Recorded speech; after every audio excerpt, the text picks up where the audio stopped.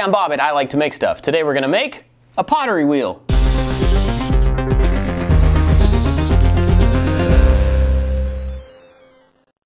For quite a while now, I've been wanting to make a pottery wheel, but I haven't had a very good reason to do it. Recently, my wife started taking pottery classes, and so now I can make one for her to use. I don't know a whole lot about pottery wheels, so I've done a little bit of research and I found out a few things about the motor. From what I've found, you have to have a relatively low RPM motor. You don't want it to go too fast, but it does have to have a lot of torque because you are pushing down on top of it, plus you have the weight of the clay itself. So we've got this motor that's higher RPM than we want, but we're gonna slow it down using some pulleys. So we've got these two flywheels here with a belt in between them, and this should ratio it down to the right RPM. I've got a speed controller coming so we can slow this down even more, but in the meantime, let's go ahead and mount all this stuff to the plate.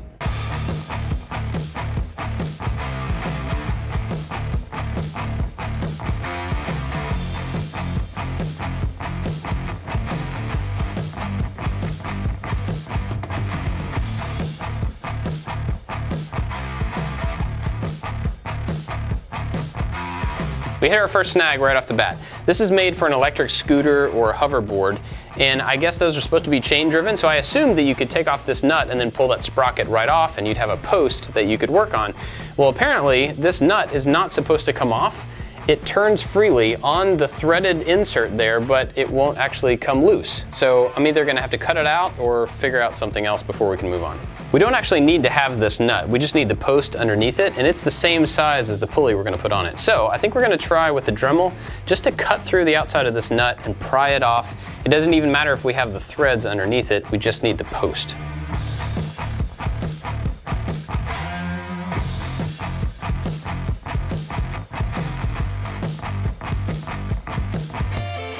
Now that we got this nut taken off, I wanted to go ahead and hook up the motor to the power supply and make sure all of the electronics were gonna work.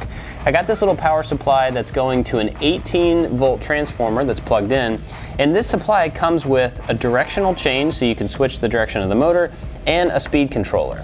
So I've got this hooked up and a little piece of tape so we can see how quickly this motor is gonna turn. And when you turn on the speed controller, you can see that it starts turning. That's a pretty decent clip on there. And then once you turn it all the way down, you can change the direction. So that way you can turn the table left and right for left-handed or right-handed people who are doing pottery. The speed controller is currently just a potentiometer, just a knob, but this will eventually need to be a pedal so you can control it with your foot. We'll get to that later on. The flywheel is going to go down here about like this, and that's going to connect to the surface called the bat that you put the clay on through this shaft. So that's gonna be mounted here, and then this whole thing is gonna be driven by a belt. That'll go around here. A belt needs to be tight to the motor, and usually you would do that with an idler wheel, but we're not gonna do that. Instead, we're gonna mount the motor here on a plate that can shift forward and backward just a little bit, and that'll help us adjust the tension on the belt. To get this mounted, I have to run this shaft through this piece of plywood, and to do that, we're gonna put in a bearing. Now this is a pretty large bearing. It's one and an eighth of an inch on the outside, so we're gonna use a Forstner bit to make a hole to press this into.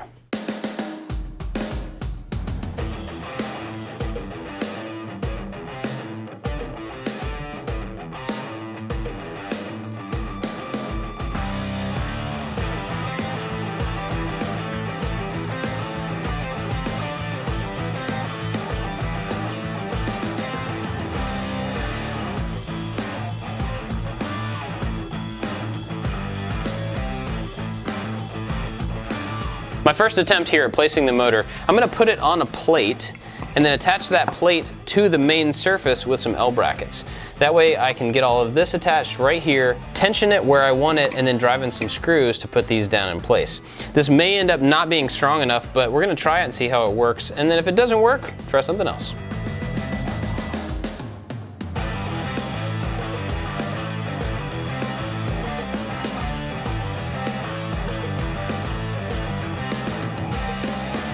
To mount this motor to the piece of wood, typically you would want to drill a hole and then drive a bolt through and use the threads that are already in the mounting bracket. That would hold it really tightly. Unfortunately, I can't seem to find any piece of hardware in my entire stash over there that fits this thread pattern.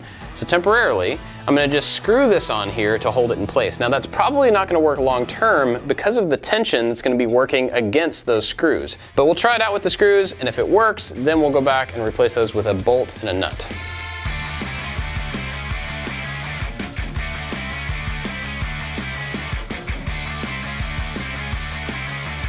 To get this pulley installed on the shaft of the motor, I measured the outside of the shaft and then later on, after I ordered the pulley, realized that this is actually a sleeve that's not attached.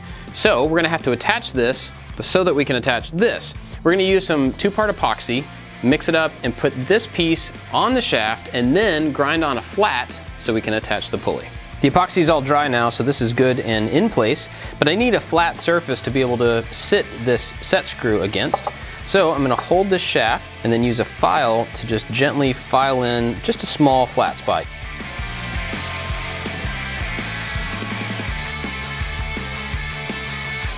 Now I've got the motor mounted just by one screw and that actually works as a pivot point. You can see here that I can move it off that pivot point to put more or less tension on the belt. So once I get this running, I can adjust it like this to get it to the correct tightness and then drive in some screws here to lock it into place.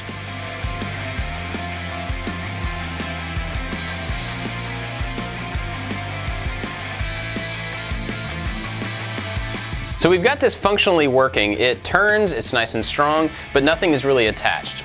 So the next step is to temporarily attach the, all the electronics down and then turn this into a table by building some legs. And this thing is evolving as I continue to work on it, so the placement of all this stuff may have to change as we move ahead. Eventually I will want all this stuff in some sort of a box so that it's protected and not gonna fall away.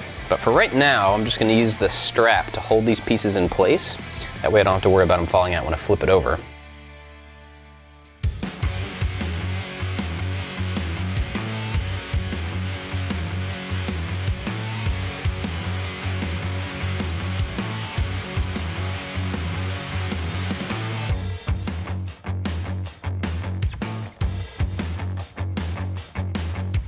So it actually does kind of work as a table. Obviously these legs are not going to be in their final form. We need to have some sort of a stringer in between them so you can't just push on it and fold the legs over. But for now, they work pretty well. We're also going to end up cutting this shape down so you can sit around it a little bit easier.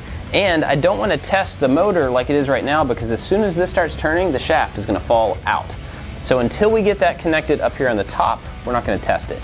The next part is creating the piece that goes on top of the shaft. Let's get started on that.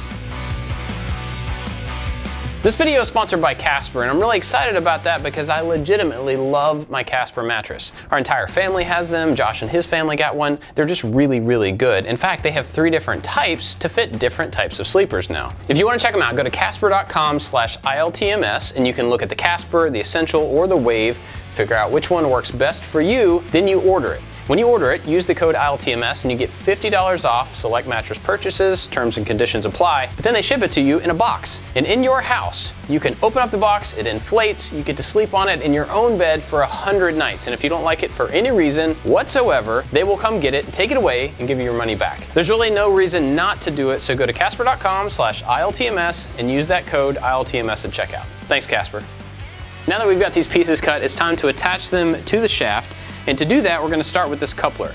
The shaft is gonna come up through here, and to attach those pieces together, we're gonna drill a hole through both of them and then drive in a nail to lock them together so that they will spin at the same time. Then, on top of this piece, we'll add a whole bunch of epoxy and then put the bat down onto there. Now this plastic doesn't typically stick super well to epoxy, but because these pieces are gonna be pressed together, there's a whole lot of surface area in there, and you're never gonna really be pulling up on this piece, so it should stick just fine. Now to get the right size hole for this piece, we did some tests on a bad one to make sure that the uh, drill bit was the right size for the nail. The nail can fit through there, but it's tight enough that it won't fall out. That'll be a nice solid lock in between the coupler and the shaft.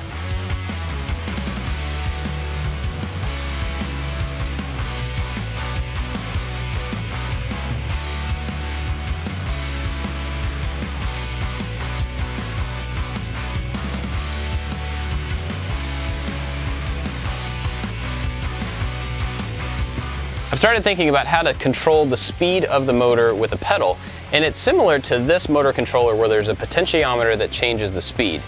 And that made me think of a guitar pedal. A lot of volume pedals are actually built basically the same way. They have a potentiometer inside and then a small gear that gets rotated when you move the pedal.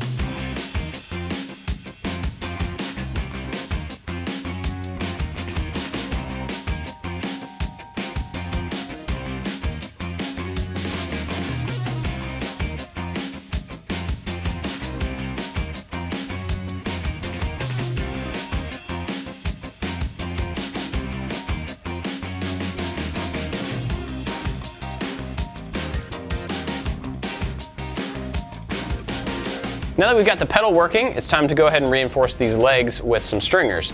Now I want to have kind of a bird's mouth on the end of this so that it fits into the angle of this 2x4. There's a really simple way to do this.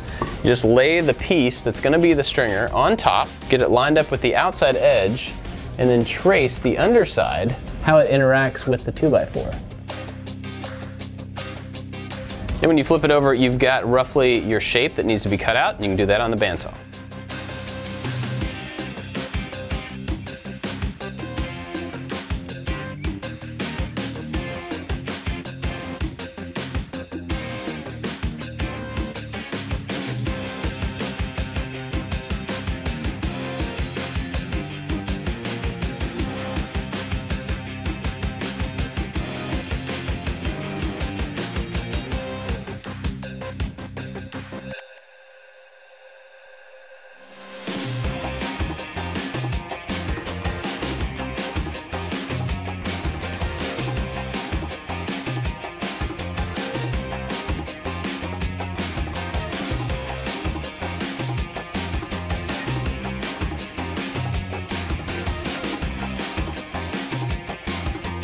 With those stringers on, the base for this thing is really nice and sturdy, so we're gonna move up here to the top and start to curve this. You're gonna be sitting about right here, and so getting rid of these corners will make it a lot more comfortable. Now, the thing that goes right here is called a bat. That's what you work with the clay on top of, and it's a 12 inch circle. So I've got this piece cut to 16 inches across, so we've got a little bit of extra space on each side. And from the center of this post all the way to the edge is eight inches.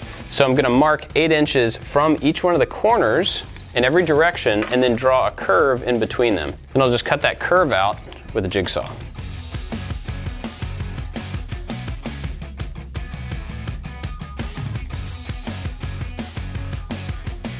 I cut that out with a jigsaw forgetting to score the top layer and so you can see there's a whole lot of tear out on the plywood. If you take a knife and cut along the line, you're gonna split the grain or the fibers on the top face and you won't have quite as much tear out.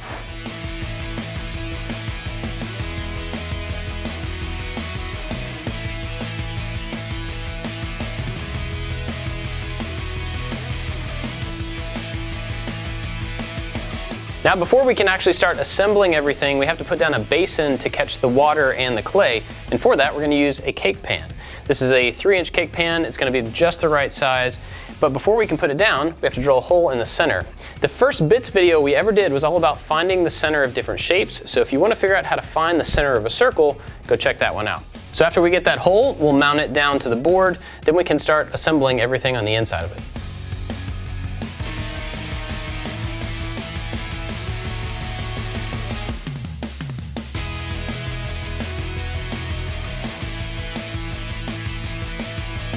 Next we've got these ball bearing casters. You would put these underneath something to help it roll on a surface, but we're gonna flip it upside down so that the bat can sit on them. We're also gonna use them to mount this cake pan down to the surface.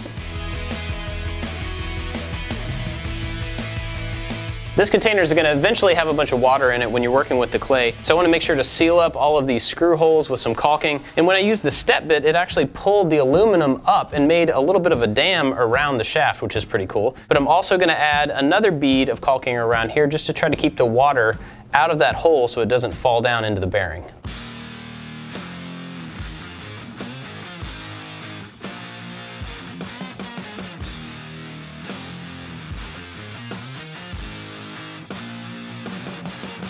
Now that this is all fixed and in place, the plan was to put epoxy in this pocket and then put it down on that piece. But now we're kind of thinking that maybe it doesn't need the epoxy. There's nothing that would cause this to come off of that piece unless it were really loose, but it's actually a really nice tight fit. So for now, I think I'm just gonna push it on there. We're gonna try it out. If it needs epoxy, we can always add it later. So I've got this pulled up a little bit above where it needs to end up so that I can fit it on to that coupler like that, and then we can just push it down to where it lands in the bearings.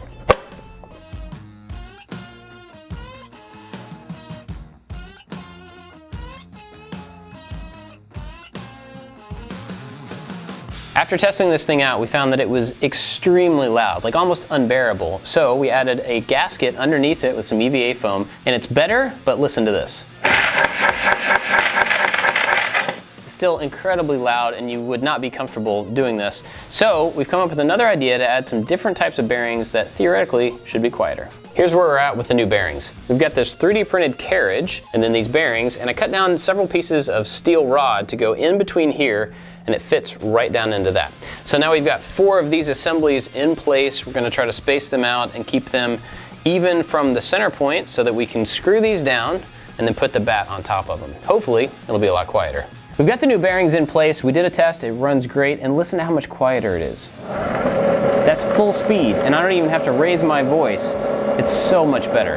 Now we also had to play a little bit with it to get the top true, but actually once we got it true, it's staying where we want it. So we're gonna take it off again, put on a little bit of epoxy, put it on for its final placement, and then we should be good to go. Instead of epoxy, we're actually gonna put a little bit of CA glue because I don't know how permanent the epoxy would be. I'm not entirely sure we even need to glue it in place. So we're just gonna use this. If we ever need to break it off to re-level it or something, should be pretty easy to do with this stuff.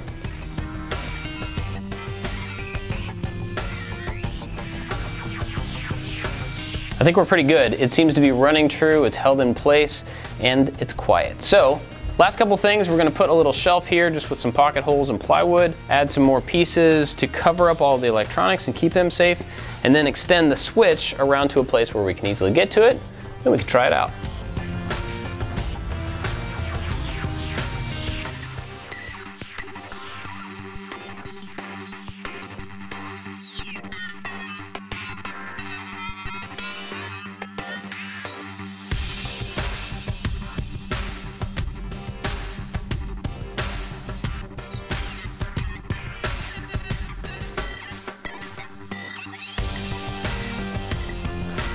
One of the last things this needs is to add some circles. All the different pottery wheels that I've seen have different circles on the bat so that you can find the center easily to put down the clay. So I'm gonna use one of my turning tools to try to add some circles that are all based around the center point.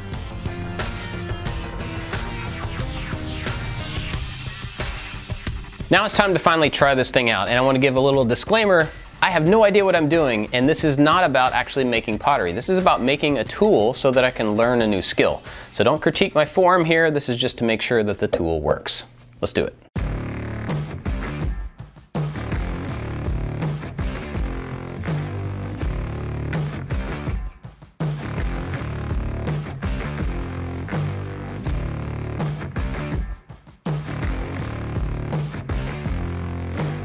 I can totally see why this would take a whole lot of practice because I realize that every surface of every finger on the inside and the outside is doing work and you have to kind of keep track of what everything's doing and where your pressure is being put. This is gonna be fun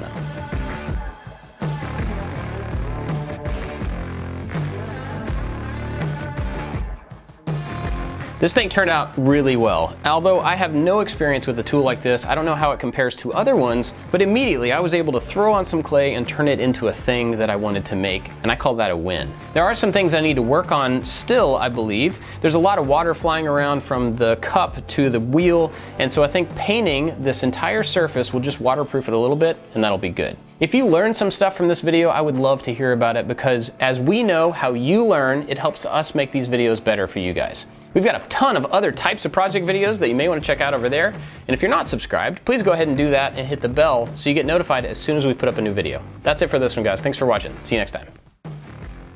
Here's where we're at with the new bearings. We've got this.